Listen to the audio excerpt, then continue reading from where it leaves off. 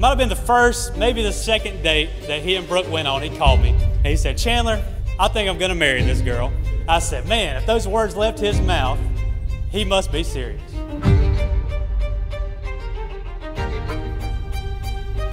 I've watched Brooke overcome so many obstacles, and I know that if Aunt Tammy was here, she would be so proud of the woman that you've become. There's nobody that compares to you, Brooke.